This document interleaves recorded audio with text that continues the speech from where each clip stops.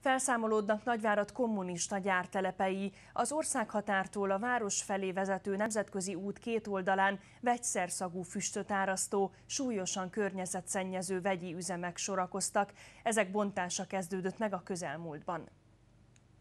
A 80-as évek végén 244 ezer tonna tinföldet is megtermeltek az 1965-ben létrehozott gyárban, amelynek 1240 dolgozója is volt.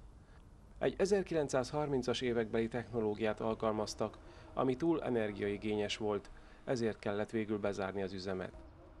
Az Európai Unió 2004-ben szabta Románia csatlakozási feltételéül az ehhez hasonló környezetszennyező vállalatok felszámolását.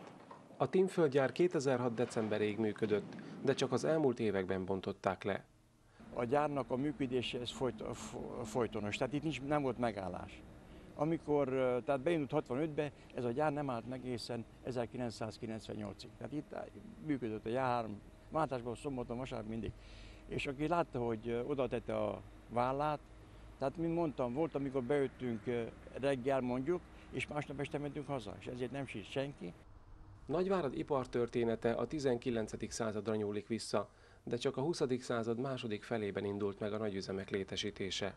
Az 1960-as években volt egy túlzott iparosítás, amikor hát tulajdonképpen a nyugati iparnegyedben 12 nagyipari objektumot adtak át, és hát ekkor 1970-re már Nagyváradon mintegy 70 iparvállalat volt, 23 ezer alkalmazottal.